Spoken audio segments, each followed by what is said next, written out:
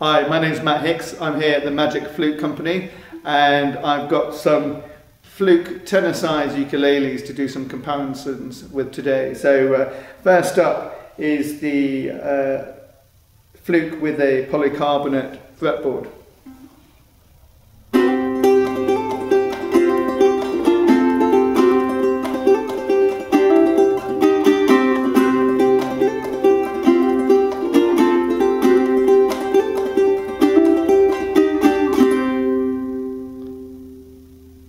Okay, next up.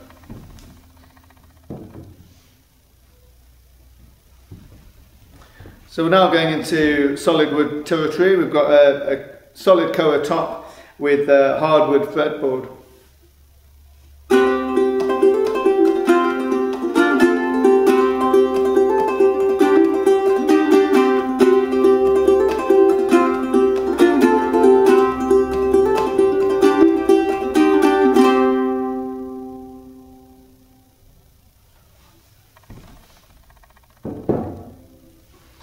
And then last but uh, not least is the uh, spruce solid top with again a hardwood fretboard.